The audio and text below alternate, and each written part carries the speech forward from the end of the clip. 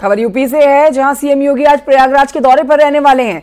CM योगी ने boat में बैठकर महाकुंभ की तैयारियों का जायजा लिया है। तस्वीरें भी आपको दिखा रहे हैं। सीधी तस्वीरें आप देख रहे हैं प्रयागराज से, जहाँ मुख्यमंत्री योगी आदित्यनाथ इस समय मौजूद हैं।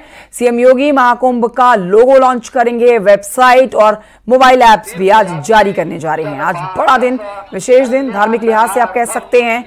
मुख्यमंत्री योगी आदित्यनाथ मंदिरों में हो रहे कॉरिडोर के निर्माण कार्य को भी देखने जा रहे हैं। कितना तेज़ी से कार्य किया जा रहा है, उस पर नज़र रखेंगे।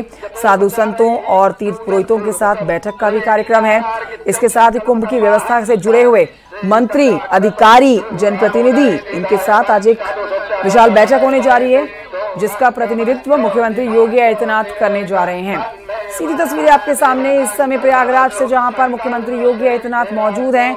और देखिए, बोट में बैठकर महाकुंभ की तैयारियों का जायजा उन्होंने लिया है। सर्वेश दुबे और जानकारी देंगे। सर्वेश, मुख्यमंत्री योगी आदित्यनाथ की तस्वीरें हम दिखा रहे हैं, जहाँ बोट में बैठकर वो महाकुंभ की तैयारियों का जायजा ले रहे हैं। स्वतंत्र देव सिंह उनके साथ देखे जा सकते हैं। इस समय की अपडेट्स दीजिए।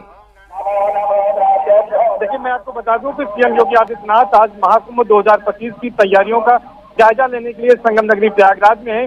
सबसे पहले सीएम योगी संगम रोड पर पहुँचे हैं जहाँ पर अपने कैबिनेट सहयोगियों के, के साथ वो गंगा का पूजन कर रहे हैं और यहाँ पर महाकुंभ 2025 के सकुशल संपन्न होने की कामना कर रहे हैं और इसके साथ साथ उनके साथ यहाँ पर जो मुख्य सचिव हैं सतुआ बाबा हैं और उनके कैबिनेट के सहयोगी में कैबिनेट मंत्री नंद गोपाल गुप्ता नंदी स्वतंत्र देव सिंह और राकेश सचान है और यहाँ के जो स्थानीय जनप्रतिनिधि हैं मेयर हैं सांसद हैं विधायक हैं ये सभी लोग और यहाँ पर आ रही है इसका जो महाकुंभ है वो जो है निर्विघ्न और सकुशल संपन्न हो। आप देखिए माँ गंगा को चुनरी चढ़ाई जाती है तो सीएम योगी आदित्यनाथ माँ गंगा को अर्पित कर रहे हैं नारियल और चुनरी। ये अभी अभी बिल्कुल ठीक सामने देखा दर्शकों ने कि माँ गंगा को चुनरी अर्पित की है सीएम योगी आदित्यनाथ ने। हम्म। ये वो परंपरा है ये वो परंपरा है जो महाकुंभ जैसे विश्व के सबसे बड़े धार्मिक और आध्यात्मिक आयोजन के पहले की जाती है तो उसी का निर्वहन आज सीएम योगी आदित्यनाथ, जो कि खुद एक संत हैं और गोरखपुर मठ के पीठाधीश्वर हैं, उनके हाथों यहाँ पर संपन्न कराया जा रहा है। वैदिक मंत्रोच्चार के साथ ये कार्यक्रम संपन्न हो रहा है। सीएम योगी आदित्यनाथ इसके बाद तमाम अन्य कार्यक्रमों में भी जाएँगे। माँ गंगा को पुष्प अर्पित कर रहे हैं आप, साफ़ तौर पर देख रहे हैं। सीएम योगी यहाँ पर आज अक्षय भट्ट पातालपुरी और सरस्वती कूप का दर्शन करेंगे पूजन करेंगे जो वहाँ निर्माण कार्य हो रहे हैं उनका भी जायजा लेंगे। इसके साथ साथ सीएम योगी बड़े हनुमान मंदिर में पूजन करेंगे तमाम जो कॉरिडोर बन रहे हैं उसका निरीक्षण करेंगे। साधु संतों के साथ बैठक करेंगे। सबसे बड़ी बात जो है दो हज़ार पच्चीस का जो महाकुंभ है उसका जो लोगो है उसके लोगों का अनावरण यहाँ पर सीएम योगी करेंगे। कुंभ को लेकर जो वेबसाइट है उसको भी आज समर्पित करेंगे। जो तस्वीरें तो हम दिखा रहे हो देखिए। कई कार्यक्रम है। एक के बाद एक कार्यक्रम में मुख्यमंत्री योगी आदित्यनाथ शिरकत करते हुए नज़र आएँगे। आप ये बताइए कि इस समय माँ गंगा का जो विशेष पूजन वो कर रहे हैं, आरती उतार रहे हैं माँ गंगा की, इसके बाद अगला पड़ाव क्या है? देखिए माँ गंगा की इस समय आरती चल रही है और इसका विशेष महत्व है गंगा पूजन का कोई भी कार्यक्रम होता है खासतौर पर अगर संगम के तट पर हो रहा है तो गंगा पूजन के साथ ही इसकी शुरुआत होती है। अब महाकुंभ में बहुत ही कम समय बचा है तेरह जनवरी 2025 से 26 फरवरी के बीच इसका दिव्य और भव्य आयोजन होना है।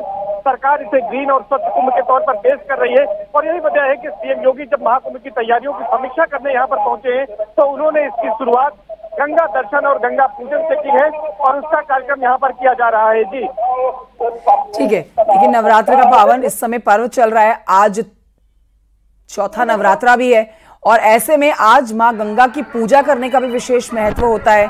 सर्वेश, मैं आप जानना चाहूँगी, अभी माँ गंगा की पूजा करने के बाद अगले किस कार्यक्रम में मुख्यमंत्री योगी आदित्यनाथ शिरकत करने जा रहे हैं? पूजन के बाद सीधे यहाँ से किले में जाएँगे जहाँ पर अच्छा भट्ट सरस्वती कूप और पातालपुरी के दर्शन पूजन करेंगे। और इस वक्त हम दिखाते हैं कि जो दक्षिणा है जो हम्म। पुरोहित ने पूजा संपन्न कराई है उनको देते हुए नज़र आ रहे हैं। तो वो जो सनातन धर्म की तरह तमाम परंपराएँ हैं उन परंपराओं का निर्वहन मुख्यमंत्री रहते हुए भी सीएम योगी आदित्यनाथ पालन करते हैं। और यहाँ पर अब प्रसाद ग्रहण करने जा रहे हैं तीर्थ पुरोहितों से। हर हर महादेव जय माँ गंगा के यहाँ पर जयकारे के साथ ही पूजन लगभग संपन्न हो गया है। सीएम योगी अब आगे के विकास कार्यों के निरीक्षण के लिए यहाँ से रहे जी। आप इन तस्वीरों को देख लीजिए। महाकुंभ की तैयारियों को लेकर देखिए आज जायजा लेने के लिए खुद मोर्चा संभाल प्रदेश के मुखिया। मुख्य तस्वीरें आपके सामने, जहाँ एक तरफ़ गंगा पूजन हुआ है। किसी भी शुभ कार्य को करने से पहले माँ गंगा की आती है। नाथ ने देखिए, अपने पूजन की तस्वीरें उनकी आप देख सकते हैं। उन्होंने पूजन पाठ किया है। माँ गंगा की आरती उतारी है, पुष्प अर्पित किए और फिर बोट में बैठकर जो महाकुंभ 2025 जिसका बेसब्री से इंतज़ार किया जा रहा है, ना सिर्फ़ देश बल्कि विदेशों में बैठे हुए लोगों की तरफ़ से भी उसकी तैयारियों का जायजा लेने के लिए मुख्यमंत्री आज खुद पहुँचे हुए हैं प्रयागराज। पूरे दिन उनका आज कार्यक्रम है। इसी संबंध में जुड़े हुए कार्यक्रमों में जाने का, शिरकत करने का, बैठकें करने का, चर्चा करने का। सीधी तस्वीरें आपके सामने, दो तस्वीरें आपके सामने इस समय टेलीविज़न स्क्रीन पर हैं। हमारे साथ हमारे सहयोगी सर्वेश दुबे जानकारी दे रहे थे। सर्वेश, बहुत शुक्रिया आपका फ़िलहाल की जानकारी के लिए। और एक बार फिर से रुक करते हैं, आइए पहाड़ की खबरों की तरफ़। देहरादून की खबर आपको बता रहे हो, जहाँ पर मुख्यमंत्री पुष्कर सिंह धामी, सरस्वती विद्या मंदिर पहुँचे हैं, जहाँ सीएम धामी, मेधावी छात्रों को सम्मानित करेंगे। सीधी तस्वीरें आपके सामने कार्यक्रम से है। शिक्षा मंत्री धन सिंह रावत भी कार्यक्रम में मौजूद रहने वाले डॉक्टर रजनीकांत शुक्ल जी, जो भारतीय शिक्षा समिति के मंत्री हैं, आप अवकाश प्राप्त प्रधानाचार्य और वरिष्ठ पत्रकार हैं। शिक्षा के क्षेत्र में आपका लंबा अनुभव है। आज इस कार्यक्रम में उपस्थित हैं। आपका ही कार्यक्रम है। इसलिए मैं यहाँ श्रीमान सुरेशानंद जी से अनुरोध करूँगा कि उनको पट्टा द्वारा उनका स्वागत करने की कृपा करें। इधर मेरे ठीक बाई ओर श्रीमान सुरेंद्र मित्तल जी, आप संघ के वरिष्ठ कार्यकर्ता हैं और शिशु शिक्षा समिति के प्रांत के अध्यक्ष हैं। इसलिए मैं सुरेशानंद जी से ही अनुरोध करूँगा कि आप श्रीमान चमोली से खबर, जहाँ पर ओली में इन दिनों कजाकिस्तान और भारतीय सेना का सेनाभ्यास चल रहा है, जिसमें दोनों देशों के जवान एक दूसरे के साथ अपने अनुभव और टेक्नोलॉजी को साझा कर रहे हैं। रिपोर्ट देखिए।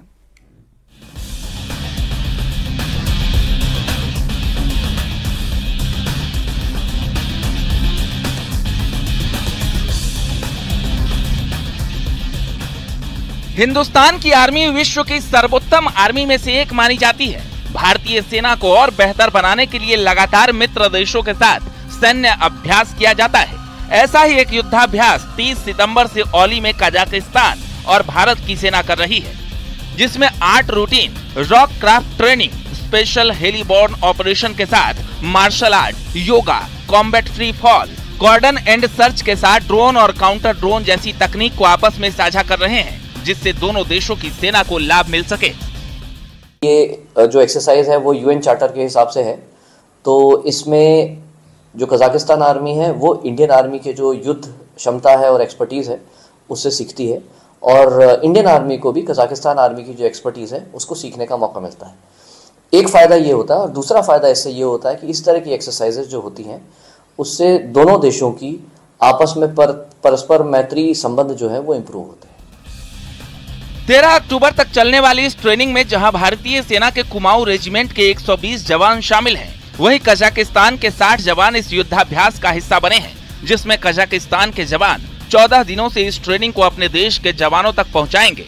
वहीं कजाकिस्तान आर्मी से जहाँ भारतीय सेना को रेगिस्तान और मरुस्थल जैसे इलाकों में लड़ने की सीख मिलेगी वहीं कजाकिस्तान को भारतीय सेना के कई क्षेत्रों में एक्सपर्टीज के साथ ट्रेनिंग मिलेगी। न्यूज़ एटीन के लिए देहरादून से सत्येंद्र बर्तवाल की रिपोर्ट।